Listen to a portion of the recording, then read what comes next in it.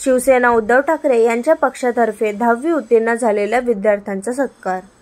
विभाग प्रमुख अनिल डेरे यांच्या नेतृत्वाखाली दहावी उत्तीर्ण झालेल्या विद्यार्थ्यांचा सत्कार करण्यात आला.